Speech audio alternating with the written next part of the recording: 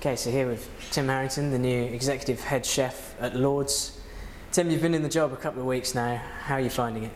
Tremendously exciting, uh, meeting a lot of very interesting people, diverse backgrounds, um, and yeah, looking forward to the season to start.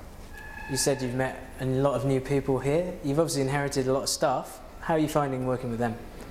Well, as I say, a great bunch of people, and it just seems that every department gels very closely to, to be able to, to produce the experience for ready for match day. You mentioned match day there.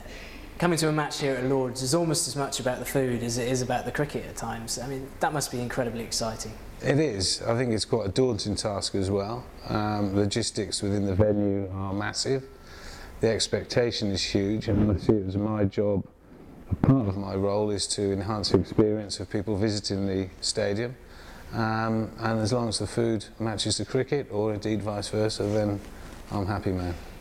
The players' dining room is a, a, particularly hallowed place for a lot of cricketers here at Lord's. They consider it, most of them, to be the best food around. Have you got any plans to change that? No, I understand that, uh, as you say, they're very happy with what they get, though I'm not sure I could eat a three-course meal and then go and play cricket in the, in the hot sunshine.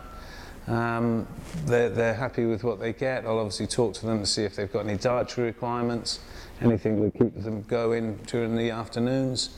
But yeah, just talk to them. Absolutely. Thanks very much and good luck. Thank you.